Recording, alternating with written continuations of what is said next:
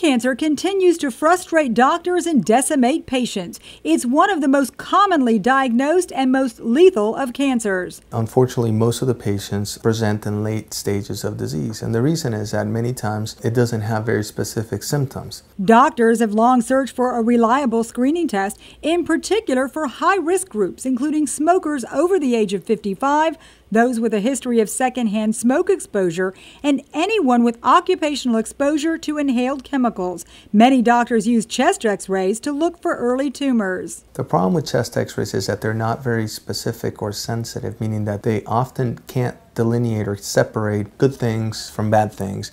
Instead of giving up, researchers looked deeper into advanced x ray technology to find something more reliable that might save lives.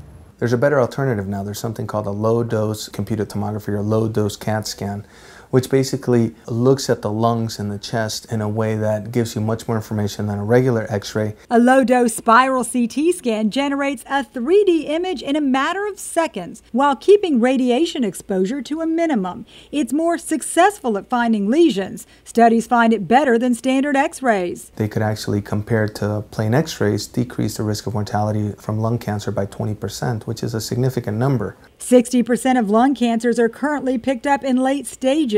Something with the potential to find it early could be the game changer doctors are looking for. For Lee Memorial Health System, I'm Amy Oshier.